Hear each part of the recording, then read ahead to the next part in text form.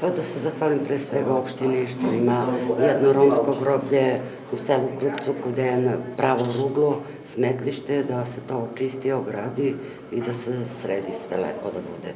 Jer ipak i tu se ljudi sahranjuju. Kad počinju radovi? A, radovi počinju 1. juna. Koliko radnika? Tri radnika sam uposlila na dva meseca.